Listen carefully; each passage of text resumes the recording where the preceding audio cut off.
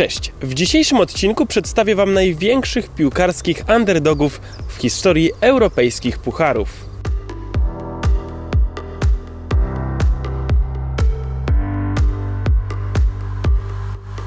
Sezonie 11-12 Apoel Nikozja dokonał rzeczy niewiarygodnej.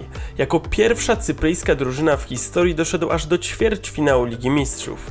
Zespół ten był skreślany już na początku. Polskie media cieszyły się, gdy w eliminacjach Wisła Kraków trafiła właśnie na nich. Mówiono, że jest to idealny rywal dla Białej Gwiazdy. Jak się później okazało, nie był to idealny przeciwnik również dla Porto, Szachtaru czy Olimpiku Lyon, których eliminował w drodze do ćwierćfinału. Dopiero tam Real Madryt obnażył słabości Apoelu. Sam awans do 1-4 finału był już jednak ogromnym sukcesem. W tamtym czasie ich najdroższym transferem był Ailton, gracz kupiony za 700 tysięcy euro.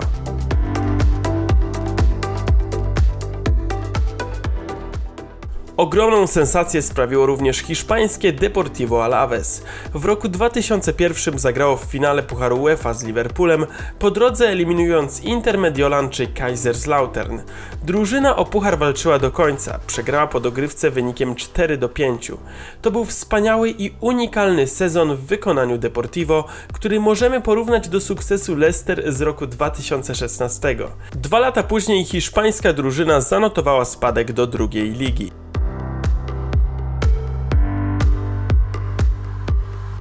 W roku 2015 ukraińskie Dnipro zmierzyło się w finale Ligi Europy z Sewillą na Stadionie Narodowym. Zapewniło sobie występ w tym meczu dzięki wyeliminowaniu w półfinale Napoli prowadzonego przez Rafę Beniteza mającego w składzie Mertensa, Iguaina czy Callejona. Co ciekawe, pierwszą bramkę w Warszawie zdobyła ekipa Dnipro, jednak później Andaluzyjczycy nie pozostawili złudzeń Ukraińcom i m.in. dzięki bramce Krychowiaka ograli swoich rywali. To był zdecydowanie najbardziej zaskakujący finał w historii Ligi Mistrzów. W roku 2004 Monaco po wyeliminowaniu Realu Madryt przechodzącego przez erę Galacticos i mającego w swoim składzie Ronaldo, Zidana, Raula czy Roberto Carlosa doszło do finału z FC Porto. Ekipa Mourinho również nie miała autostrady do finału. Za burtę wyrzuciła chociażby Manchester United, który dysponował Cristiano Ronaldo, Van Nistelrooyem czy Ryanem Giggsem.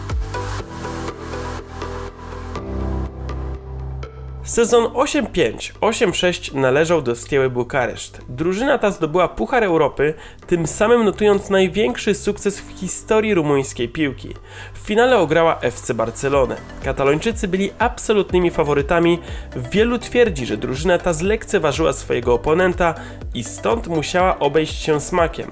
Zwycięzcę rozstrzygnięto po konkursie rzutów karnych. Niezwykłego czynu dokonał bramkarz Stieły Helmut Dakadam, który obronił wszystkie cztery jedenastki.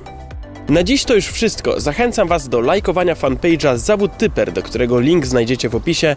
Tam znajdziecie m.in. historię zdjęć, które właśnie pojawiły się na ekranie, a także innych zdjęć, inne ciekawostki, inne piłkarskie newsy.